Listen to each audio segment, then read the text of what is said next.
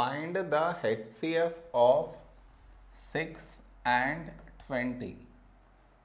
To find the HCF, first we should do prime factorization of each number separately. That is 6, 20. Now, 6 is an even number, so I take 2 here. 2, 3 6. Now, 3 is a prime number, so 3 and 1.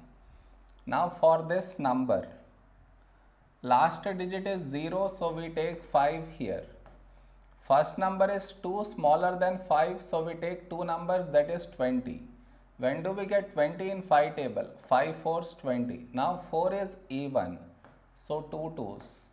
Now 2 is a prime number, so we take 2 and 1. So HCF is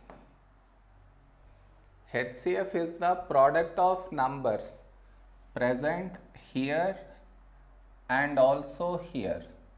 So now we should find the numbers present in both these places. So let us find starting with number 2. Do we have 2 here? Yes. So cut the 2 and write here.